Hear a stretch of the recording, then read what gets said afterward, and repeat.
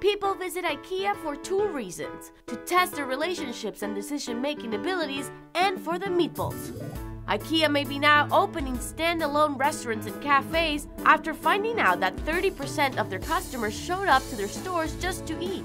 The Swedish company is now toying with the idea of expanding their food division into cafes in city centers. Their food sales in 2016 reached the $1.8 billion mark, according to Fast Company report.